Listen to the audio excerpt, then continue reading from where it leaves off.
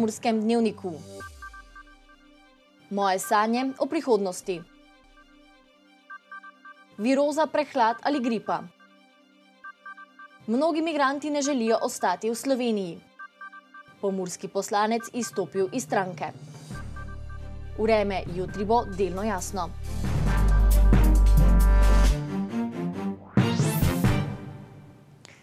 Spoštovane gledalke, cenjeni gledalci, lepo pozdravljeni v Pomurskem dnevniku.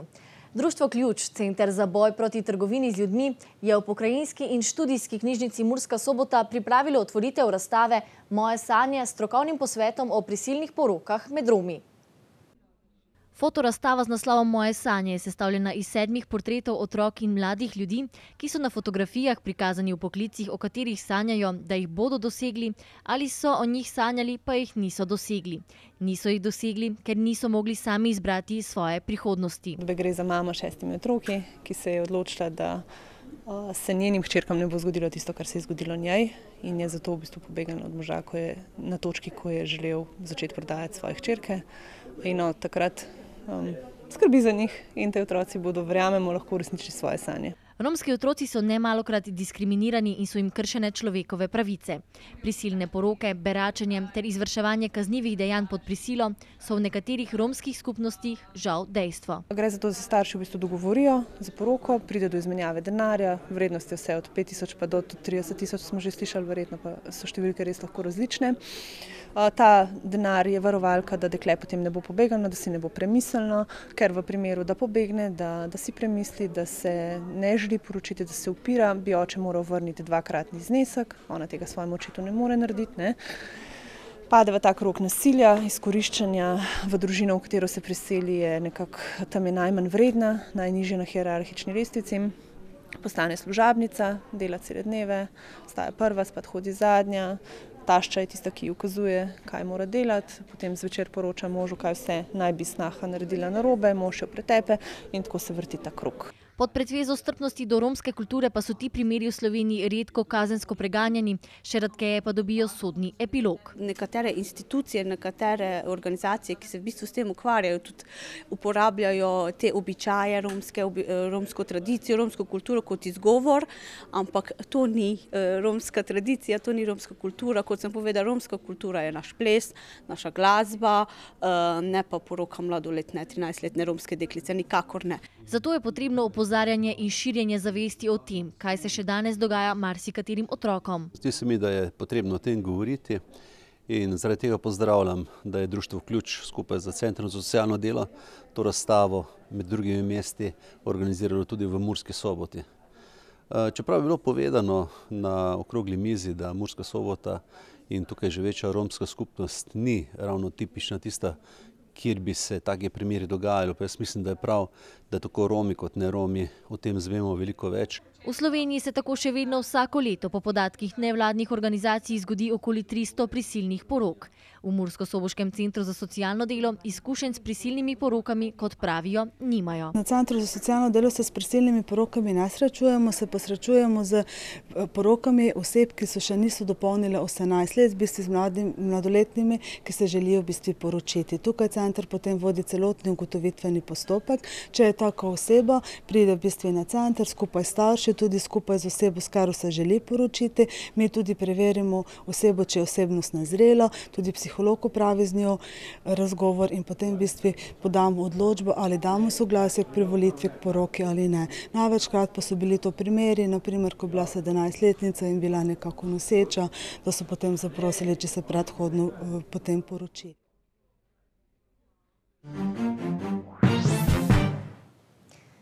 Viroza, prehlad ali gripa. Človek se ob obilici informacij nehote vpraša, ali gre morda za tri različna obolenja ali pa gre le za eno in isto obolenje. To nam bo pomagala pojasniti Polona Džerek iz Bioteke, ki jo lepo pozdravljam v studiu. Pozdravljena. Za kakšno obolenje torej gre? Gre to za ista obolenja ali različna obolenja? V zadnjem času res pogosto slišimo vse tri izraze, vendar naj pojasnim, da tako prehlad kot gripa sta obe virusni okužbi, torej obe sta, oba sta virozi. Kako torej ločiti med prehladom in med gripo? Pri gripi gre za nekoliko težjo virusno okužbo naših dihal.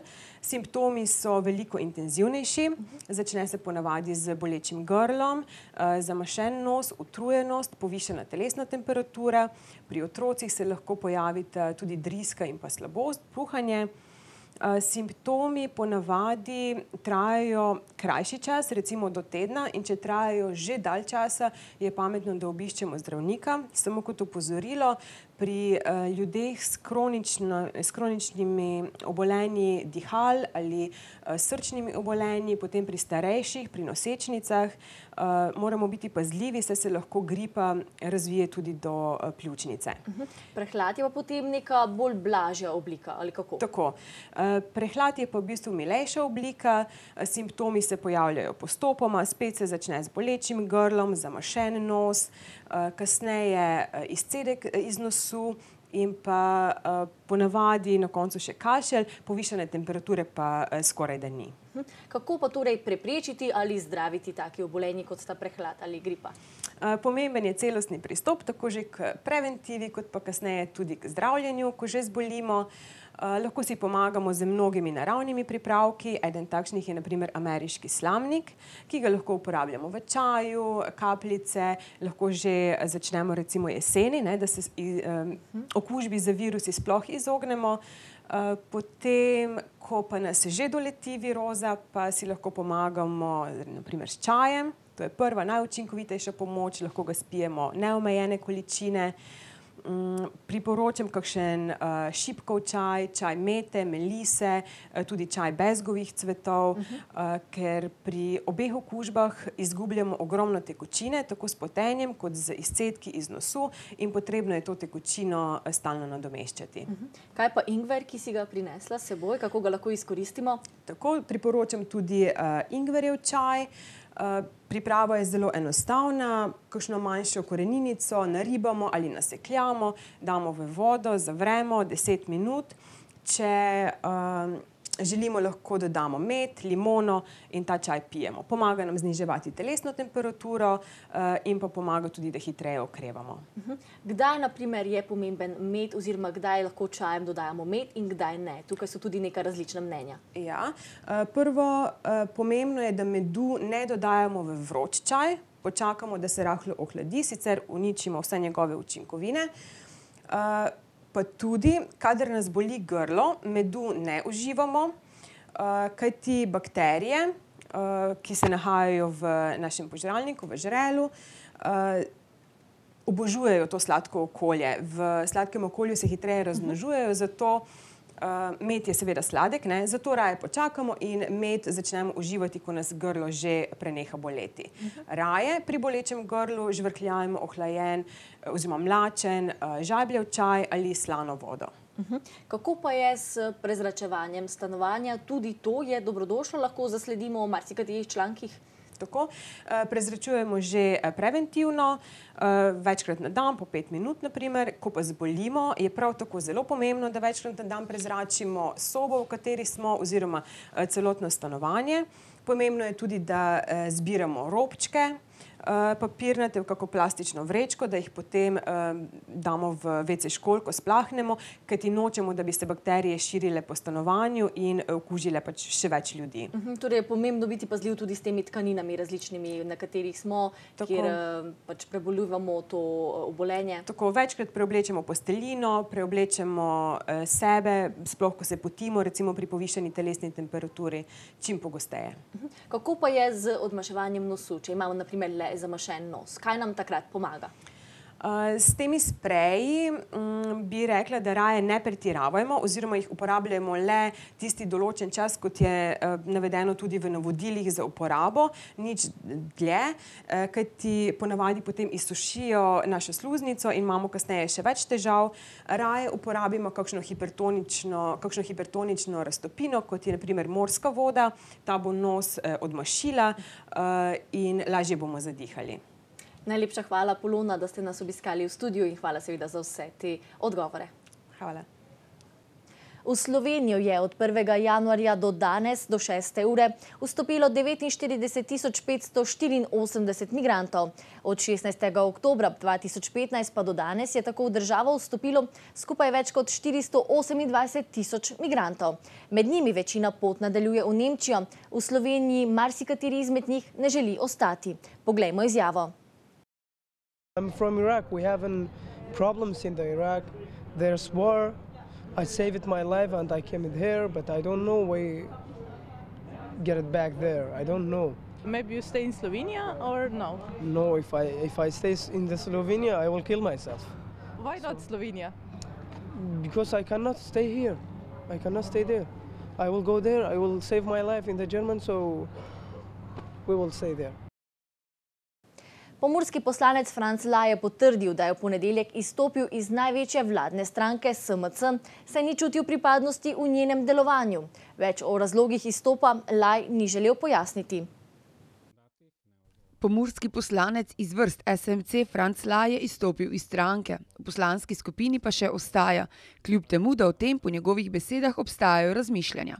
Da poslanec ni član stranke, pač pa le poslanske skupine, je že parlamentarna praksa in tudi vodja poslanske skupine SMC Simona Kustec Lipicer o tem ne vidi uvir, je povedal Laj.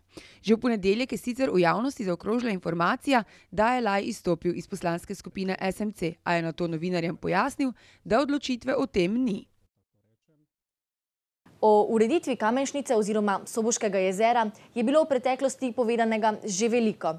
Postavitev paviljona Expo ob jezeru je prvi korak v urejanju tega območja, tako da lahko v prihodnosti pričakujemo celostno ureditev. Ureditev Soboškega jezera postaje resničnost. Mestna občina Murska sobota že skoraj leto dni pripravlja prostorske akte za ureditev Soboškega jezera, ki je krovni projekt, znotraj katerega bo več bistvenih elementov. Eden izmed njih je torej tudi paviljon Expo, ki naj bi stal že v prihodnjih mesecih. Projekt Soboško jezero je vključen v dogovor za razvoj regij. Lahko se vključi tudi projekt trajnostne urbane strategije, kjer občina pričakuje od 7 do 9 milijonov evrov za projekte. Soboško jezero bi naj postalo športno, kulturno in turistično središče regije kot celote. Projekt naj bi bil zaključen leta 2018, z umeščanjem vsebin pa bodo začeli postopoma. Prve informacije so, da naj bi okrog Soboškega jezera uredili prostor za družinske piknike, hišice žari, kolesarske poti, tekaške proge, veslaško tribuno, omenjata se celo hotel in arheološki muzej. Kot zgled ureditve Soboškega jezera dajo na občini jezero Jerum pri Zagrebu in jezero pri Gracu. V oddaji iz našega studija Soboški ekran si tokrat oglejte pogovor z Mursko-Soboškim županom. Ta je izpostavil načrte in ideje mestne občine v letu 2016. Poglejmo izjavo. Upam, da bo proračunska debata stekla brez večjih problemov. Eh, je pa dejstvo, tako kot vsakič, da v proračunu je vedno manj denarja, eh, kolikor je pač žel. Eh, ampak ne poznam župana ali pa če hočete kogarkoli, ki pripravlja proračun, da bi rekel, kdaj, da je denarja preveč, pa da ne vemo, kam z njim. Odajo iz našega studija Soboški ekran si oglejte na TV ideje ob 20 in 15 s ponovitvijo ob 22 in 45. Ne zamudite.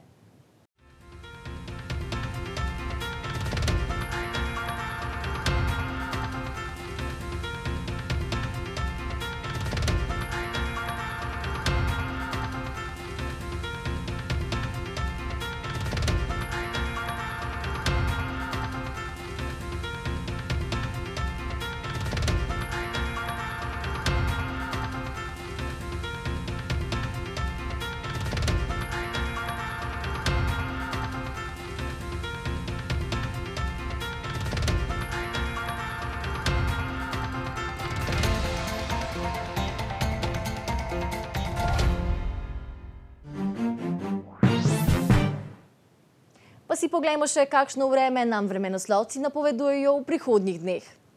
Danes smo se prebudili v jasen in sončen dan. Opoldne smo v Karinskem parku Goričku namerili 10 stopinj, v Murski soboti in Radencih 5 in v Lendavi 3 stopinje Celzija.